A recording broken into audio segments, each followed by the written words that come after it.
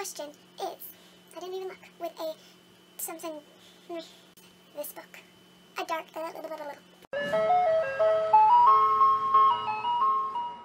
Hey guys, it's Jay and I'm here with the Summer Lovin' book tag.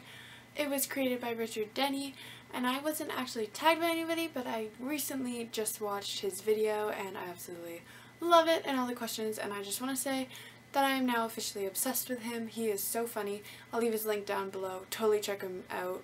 Love him. So without further ado, let us get started.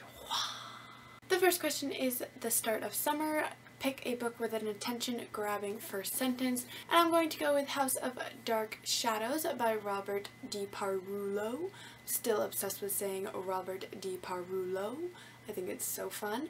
Anyways, the first sentence is. The walls of the house absorbed the woman's screams until they felt to her as muffled and pointless as yelling underwater. Like, sorry, what? I wanna, what? Why? What? I wanna know what happened to the lady. Still have not read this book, but I seriously, like, what happened to her? The second question is Too Hot to Go Out. Pick a book for a day in. And I am going with This Song Will Save Your Life by Leila Sales.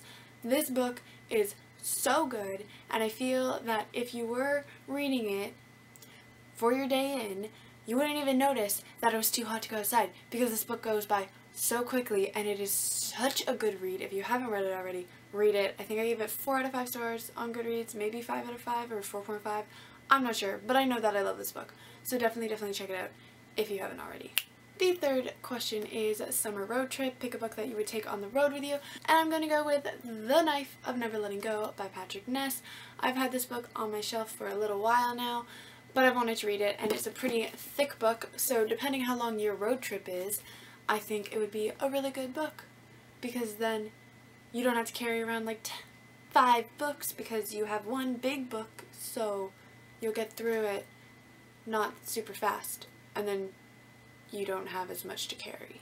Which, on my road trips, I don't like carrying that much because I'm lazy, so this would be a good book. The fourth question is Iced Tea Goodness, and it is a book that is set in a cold place. And my book is Ignite by Lily Paradis. I'm not 100% sure where the actual setting is. It's in the States, I believe, but it's during the winter time, so that's pretty cold. Just saying, winter is always cold, so this is definitely one of the books. And I gave this book a 3 out of 5 stars. It was pretty good.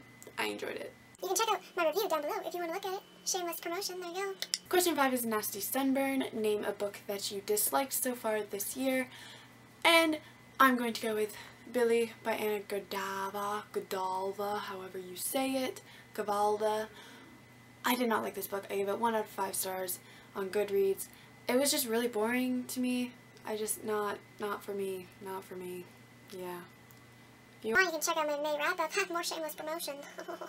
yeah, I talked about it, so check that out if you're interested in why I didn't like it. And finally, question six is Sizzling Read. Name one of your favorite books. I'm sure you can all guess what book I'm going to choose. It is The DUFF by Kody Keplinger. I love this book. It is my favorite book. It is so good. I love it. Recently became a movie. The movie is not as good as the book, just saying. You guys saw the movie and was like, eh, what? No, this is, this is terrible. The book is way better. It's a completely different book from the movie, so seriously, read it. If you haven't, I give it 5 out of 5 stars on Goodreads, obviously, because it's my favorite. Alright guys, so that was the Summer Loving book tag.